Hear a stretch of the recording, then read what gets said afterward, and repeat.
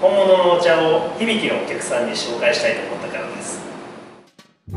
私たちが扱っているお茶は静岡県で生産されたお茶を使用しています。富士山の雪解け水と富士山から吹き下ろす富士山おろし。この2つのエッセンスが非常に美味しいお茶を作ります。